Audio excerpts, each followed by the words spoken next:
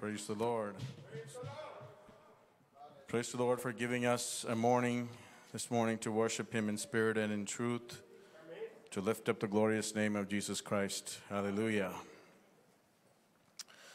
We are uh, landing at the last chapter of Acts, Acts chapter 28. This will be the last message from the series. Acts chapter 28. Um, a couple of weeks ago, we covered Acts chapter 27, and uh, Joe was able to cover that pretty well. Um, we ended off with Paul and the 275 individuals in the ship um, experiencing a shipwreck, and uh, they grab onto whatever they can grab onto to float in the water, and they all come safely to a land which they will find is called Malta. So in chapter 28, Luke is bringing this entire historical narrative in the book of Acts of 28 chapters to a close by highlighting Paul's encounters with three different communities. He, is, uh, he, he starts off with Paul's encounters with this unreached people group, this pagan community, and then then he has interactions with this, a Christian community, and at the end, we see his interactions with the Jewish community in Rome. In verses 1 to 10 is where we see Paul's encounters with this individual, uh, the people in Malta. They're described in a very positive way as, as people with unusual kindness. You know, many, you might have heard of stories, and there was one recent story of a person that uh, tried to go to an island somewhere uh, around the coast of India, and, and uh, they ended up being uh, shot by an arrow. So the, the, the, experiences that, that some would have going to a strange island might not be the same, but in this, uh, in this scenario, Paul and all the 20, uh, 275 individuals experienced unusual kindness. But upon uh, reaching there, because it was kind of cold, verse 3 of chapter, chapter 28, I'm just going to kind of highlight some verses as we go through the chapter. It says that Paul had gathered a bundle of sticks and put them on the fire, and a viper came out because of the heat and, the, and fastened on his hand. And so a, a, a venomous snake attacks Paul, and then we see uh, upon when that happened, the people there said, no doubt this person is a murderer. So this might, this might not be the first experience they had of seeing some kind of justice happening by nature. You know, this man who was shipwrecked now came on land and all of a sudden he is bit by a snake. In Malayalam, there's a term, right? Something like that, right? Same thing, like, you know, you have a, uh, you have a person that is already faced a misfortune, comes on land, and now is bit by a snake. So you can um, you can see here uh, that the people naturally are interpreting this as justice. You know, the justice has, has uh, not allowed them to live. And there is a goddess in this island of Malta called Justice.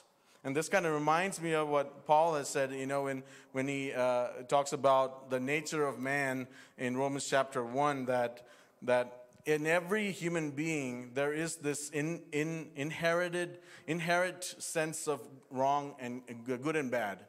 That, and then good will be uh, judged fairly and the evil will be punished. This is put in every person, whether, what they, whether they, whatever they believe or not. And in our culture today, this is kind of uh, seen in the form of a, a word that really was adopted from India, but karma or karma, you know.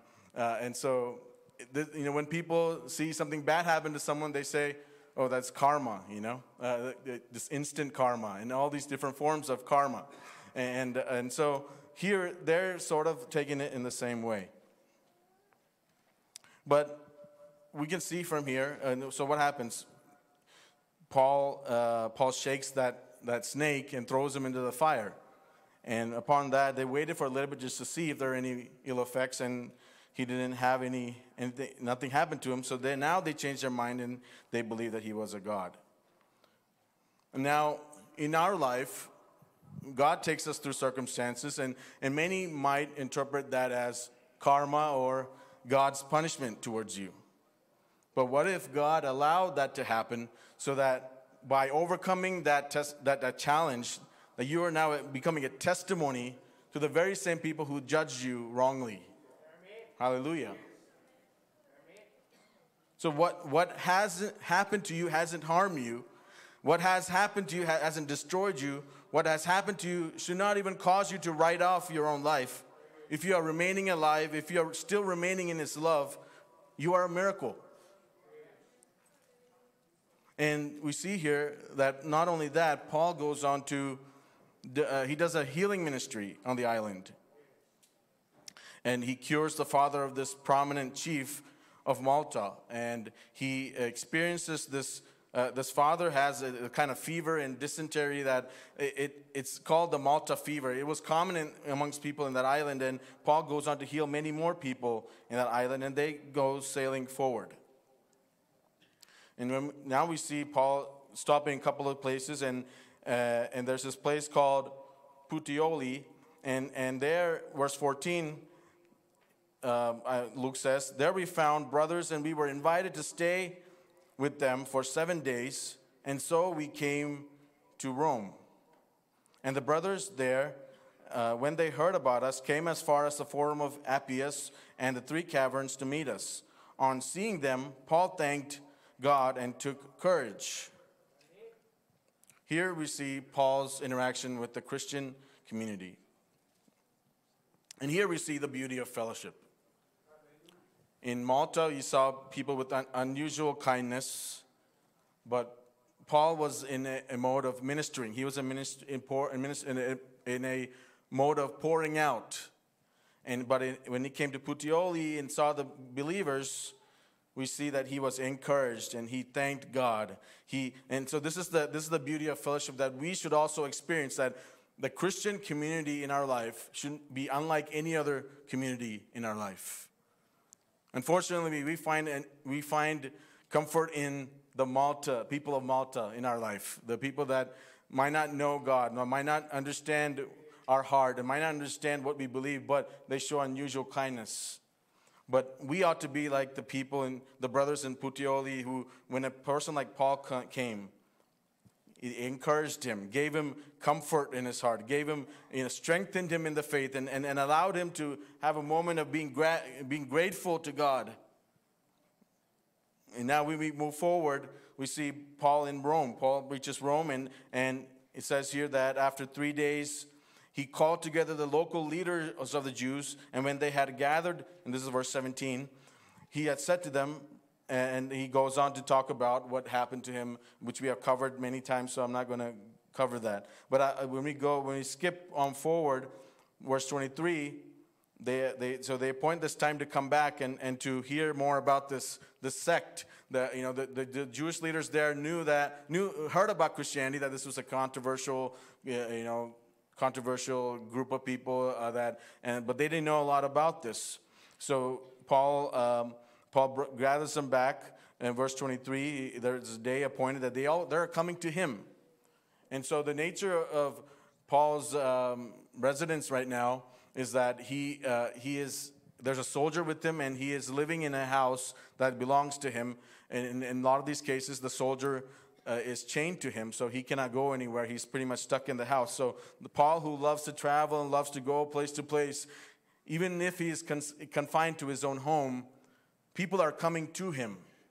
Even, even if he cannot go out and, and minister in unreached places, we see that people that God is sending people to him so that he can continue his ministry of spreading the gospel. He says, and it says there, verse 23, from morning till evening, he expounded to them, testifying to them the kingdom of God and trying to convince them about Jesus from the law of Moses and from the prophets. And some were convinced what he said, and others disbelieved. And disagreeing amongst themselves, they departed after Paul made one statement The Holy Spirit was right in saying to your fathers through Isaiah the prophet, Go to these people and say, You will indeed hear, but never understand. You will indeed see, but never perceive. For these, the, this people's hearts are grown dull, and with their ears they can barely hear, and their eyes they, should ha- they have closed lest they should see with their eyes and hear with their ears and understand with their heart and turn, and I will heal them. verse 28. Therefore, let it be known to you that this salvation of God has been sent to the Gentiles, and they will listen. So, and uh, pa- Pastor C.S. Matthew covered some of this uh, early this morning. Praise God for that. We see, um, we see that Paul is doing what Paul does. When Paul goes, especially when he goes to a new area, he first visited the synagogues. Like the, there's Paul has a heart for the Jewish people. He, even though there are places where he dusted his feet and he he moved on to the he will say he said i'm going to move on to the gentiles there's still something pulling him back and we can see that when we read through romans 9 through 11 paul's heart for the jewish people that this unceasing anguish in his heart he said i wish i could be cut off from my brothers my jewish brothers and sisters and so paul again you know, I, I, can just imagine everything is at their fingertips for the Jewish people to understand. Everything has been given. It's just a matter of them to, their eyes to be open, their ears to be open, their heart to be open. And again, he is trying to reason with them and try, it says morning till evening, trying to show Jesus for, through the prophets of, of the Old Testament. And then he quotes Isaiah chapter 6 as we know, the, the famous chapter in Isaiah chapter 6, where Isaiah sees the Lord high and exalted. And, and then at the end, um, you know, the, the, uh, the voice in heaven says, Who will go for us? And Isaiah says, uh, Here I am, send me. And then uh, right upon that, right after that, this is what it said. This verse is in 26 to 27. The ministry of sharing the gospel is not about success. The ministry of sharing the gospel is about being faithful to the gospel message. There will be people who will reject what you have to say. It is hard. It is hard to take rejection. I, I know it firsthand. The ministry of the gospel is to be faithfully explained without any kind of sugary substances or any kind of taking away from the message. It is a controversial message, it is a divisive message, but at the same time, it is a message that will heal. It's a message that brings salvation. It's a message that brings wholeness. And so we need to be faithful regardless of the consequences, regardless of what kind of feedback we get, to be faithful in sharing the gospel. Amen. So we read in uh, verse 30 says that Paul lived two years in, in this condition. And in, this, in these two years, what we know of is he, is, he wrote four epistles. And these are the prison epistles of Ephesians, Colossians, Philemon, and Philippians. Very wonderful and deep uh, epistles that we all read and we cherish even today. And you can kind of see his state of mind in all those four epistles. He calls himself a prisoner of Christ. He mentions about his chains. And then in one particular portion I want to read here, his state of mind is kind of seen. Philippians chapter 1, 12 to 14. Philippians chapter 1, 12 to 14. I want, to, I want you to know, brothers, that what has happened to me has really served to advance the gospel, so that it has become known through the whole imperial guard and to the rest that my imprisonment is for Christ. And most of the brothers, having become confident in the Lord by my imprisonment, are more bold to speak the word without fear. So, you know, Paul was prevented to, to share the gospel place to place, but like I said, God, you know, God brought people to him, and, and, and Paul's perspective is that, you know, e- that even if the, you know, um, that even if he was going through the suffering of being imprisoned and chained, the gospel was being advanced. You know, that, that's how he, he viewed his circumstance, that, that through my imprisonment, through the chains that I have, even though it is embarrassing, while there are uh, people that are discrediting me out in the churches, and there, there are these you know flashy preachers that are in the in the churches spreading false uh, the false gospel. I'm here as a fool, being changed chained so that the imperial guard, the, the Roman rulers, the, even Caesar's household can know Jesus, that I'm being imprisoned for Jesus. Without Paul being going through this, none of them would have known. So if, if it means that the gospel will advance, I will be content with my sufferings. I will rejoice. I'll rejoice in my sufferings. And that is the message in Philippians as we as we know. So, you know, Acts chapter 28 ends in a kind of a unresolved note. We, we, you know, if you read it, you know that. You know, with all the details given up to this point, all of a sudden it ends in 31 saying that, you know, Paul proclaiming the kingdom of God and teaching about the Lord Jesus Christ with all boldness and without hindrance. And this is this kind of, I mean, when I, when I was studying through this and reading through this, I, I, I wished in my heart that, that there was a little bit more, more of a closure and ending to this. But um, that, that's not how the Holy Spirit wanted us to, to, to end because of many different reasons, which I'll cover. So, what, what happens to Paul after this? There are three more epistles that Paul has to write. And the, again, these, all these things are just uh, uh, different theories and, and conclusions made by scholars. But there are three more epistles, the pastoral epistles that Paul has to write even after this. So uh, at some point, and, and, and so the, three, the three pastoral epistles are 1st and 2nd Timothy and Titus. And when we read 1st, First Timothy and Titus, he does not mention about his imprisonment, but he does in 2nd Timothy. And so that gives a, a clue as to there, there must have been a period of time after these two years of being prison, in prison in his own house that he was let go. And so, um, because he mentions in Titus that he was in a place called uh, Nicopolis, which is in Greece. And there are, there's a lot of people that he he encounters and he talks about different places like Crete and, and, uh, and he places Titus there. And so there, there is at least a few more, a couple more years uh, after this point that we read in Acts. Uh, and so, um, so and, and, then some say that he went as far as Spain, uh, at least he desired to go to Spain. And some say he went to Britain on the way. We, we don't have any clear evidence for that. And so what happens, what drastically changes that environment for Christians in the Roman Empire was this great fire in Rome. Um, and it happened around AD 64. And, and uh, two thirds of Rome uh, was destroyed in this fire, and the fire lasted for nine days. And, and what is said is that, that possibly Nero is the one that started this so that he can rebuild Rome to his liking. Uh, but in any case, Nero pointed the blame to the Christians. And so as a result, Christians were persecuted in Rome and, and, and killed in severe ways. And I'm not going to describe in all the ways because it's, uh, it, it is very gruesome. And, and so, so 2 Timothy in the epistle, we get a glimpse as to what is what ha- may have happened leading up to Paul's second imprisonment. This is his final imprisonment. This leads uh, to his uh, eventual uh, death. 2 Timothy 4 14 to 18 2 Timothy 4 14 to 18. Alexander the coppersmith did me great harm. The Lord will repay him according to his deeds. Beware of him yourself, for he strongly opposed our message. At my first events, no one came to stand by me, but all deserted me. May it not be charged against them, but the Lord stood by me and strengthened me, so that through me the message might be fully proclaimed and all the Gentiles might hear it.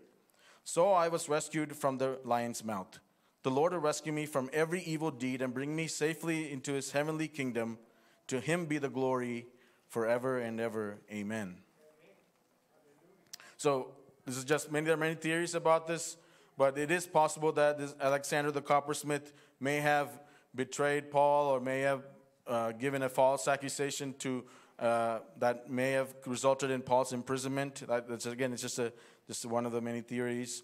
And it looks like at that point, many of the people that were with Paul fled him. And Paul mentions them by, mentions them by name. And then he mentions that uh, he was rescued from the lion's mouth. Whether that is literal or figurative, we don't know. But that feeding people to the lion was one of the ways that people were punished. And, and there could have been a circumstance where he was, he went through that, but was uh, rescued from it. But in, in any case, Paul's time uh, came to an end in, his, in the age of his 60s, uh, early 60s perhaps. And when he was, uh, it is said that he was beheaded uh, around AD 67. So when we think about Acts as a whole and, and, and going forward, you know, we can somehow be dissatisfied because the Acts does the book of Acts does not end in a, in a clean conclusion. But my view is it might be intentionally done by the Holy Spirit just to make a point that the Church of Jesus Christ is, is not dependent on Paul. The Church of Jesus Christ is not dependent on a Peter, who we don't see uh, uh, after Acts, Acts 15. Peter just vanishes, you know, in terms of Paul, you know, when, when Luke mentions it. Peter, it's almost like Peter didn't, uh, as, is not a, key, key leader, which he is, but in the, in, in the book, he's not mentioned. But, uh, and, and so, you know, so, so it did, so the, the Church of Jesus Christ is not dependent on you or me, right? In every generation, God raises up people to do his purpose, to fulfill his purpose. It is his purpose. It is not our purpose.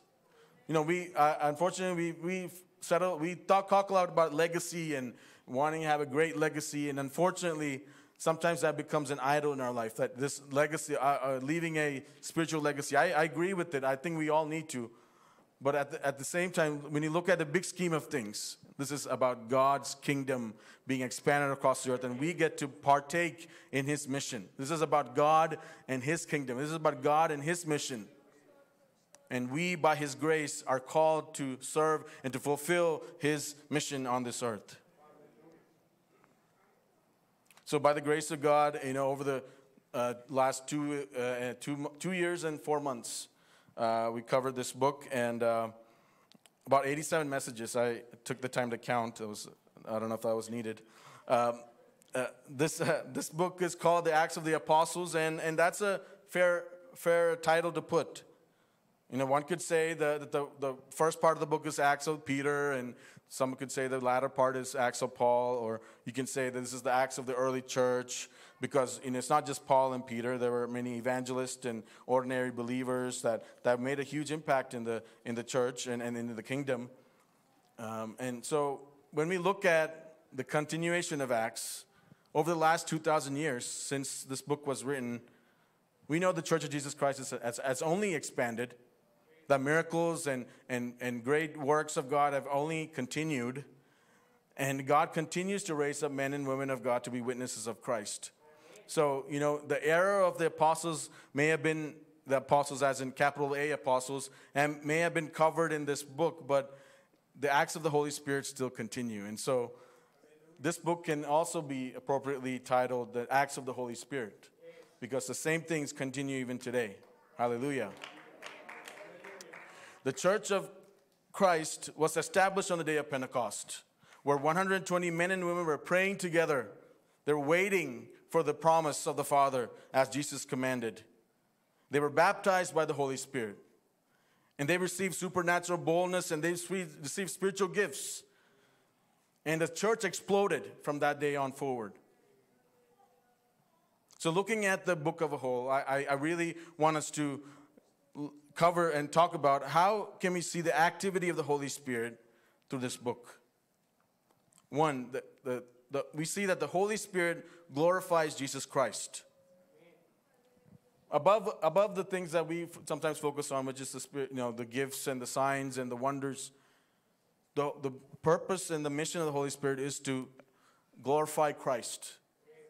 There's no, there's no division between the, the persons in the, tri, in the tri, triune God. The, pers- the purpose of the Holy Spirit is to lift up Christ. So wherever Christ is lifted up, whether it's this Sunday morning, whether it's in our lives, whether it's in our actions, there is the Holy Spirit empowering people, empowering men and women of God to glorify and lift up the name of Jesus Christ. Jesus said that, Jesus said that the Holy Spirit will glorify me. And the Holy Spirit will bring into remembrance the things that Christ taught the disciples. The Holy Spirit will convict the world of righteousness and the judgment to come.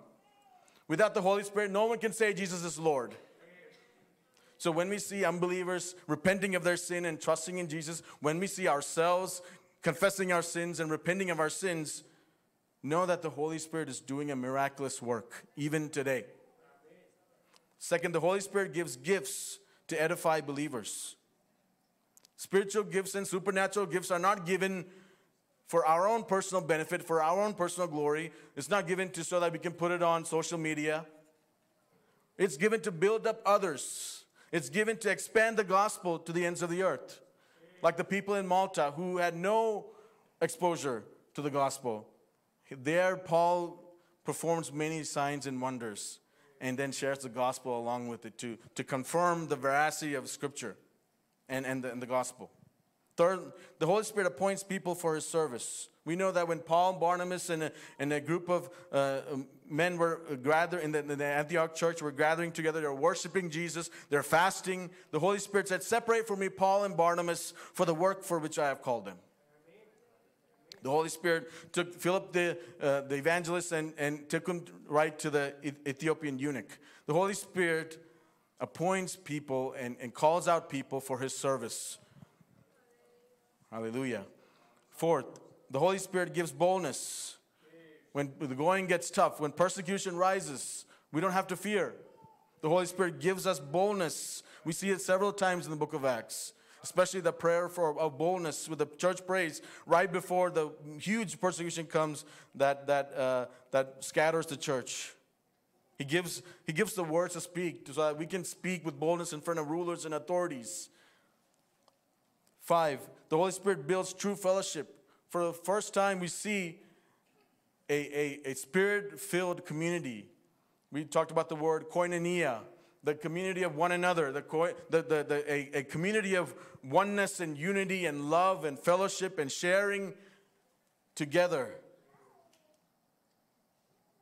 And He transforms us to love others with, with a sincere heart. And it begins with each one of us being filled in the Holy Spirit, not coming up with not coming up with ways of, of trying to force ourselves into experiencing fellowship, but to be filled in the Holy Spirit, each of ourselves, so that we can find the oneness in the Spirit together. Number six, Holy Spirit gives direction. The Holy Spirit, uh, we, we know, uh, we covered this, that Holy Spirit prevented at, at sometimes from the mission to go in certain places, or the Holy Spirit allowed or uh, gave a prompting in the hearts of the apostles to, to go to certain areas. And when a decision had to be made, um, you know, I think it was James that said, the Holy Spirit it seems good to us and the Holy Spirit. You know, when decisions are made in a church body, we ought to be able to say with a clear conscience that this seems good to us and the Holy Spirit. We need we need the help of the Holy Spirit even for the most minute decisions in the body of Christ.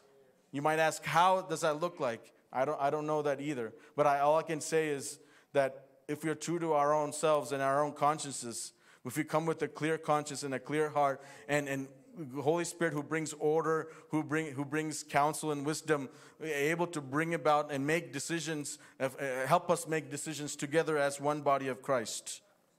Lastly, the Holy Spirit brings discipline. When Ananias and Sapphira lied to the church, what did Peter say? Peter said, How can you do such a thing and lie to the Holy Spirit? How, and, and, he said to Sapphira, how, how can you test the Holy Spirit?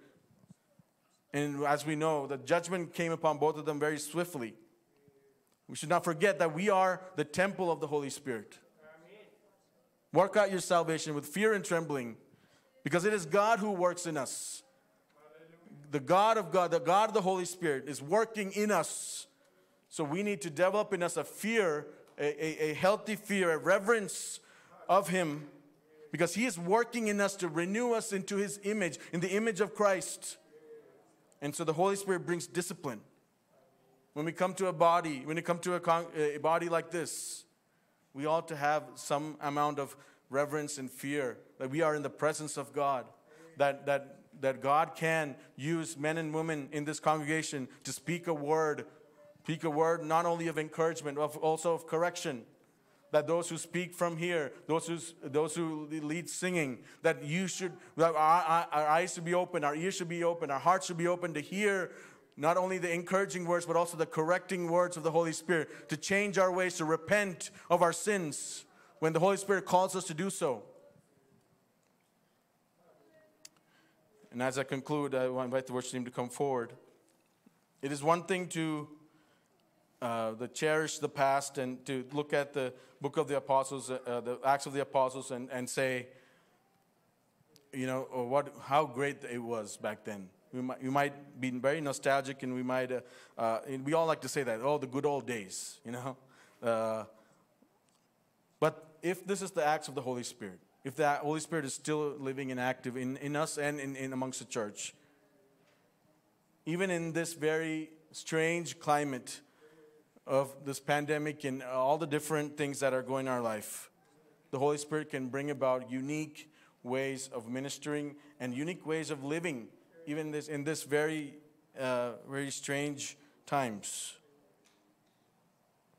Today we have unprecedented freedom.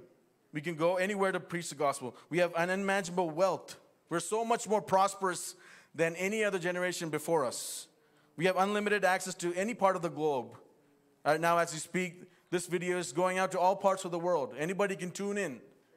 That was unheard of. That would have been uh, something thought of crazy in the time of the apostles. The gospel of Christ could be shared with far less hindrance than any time in human history. So the question that I ask, not just I'm asking you, but asking myself is, are we taking advantage of the in slumber? Are we using this unprecedented freedom to, to cause us to commit sin and to and uh, without consequence and do whatever we like? Are we using this unimaginable wealth that to uh, cause us to love money more and to make money uh, our master?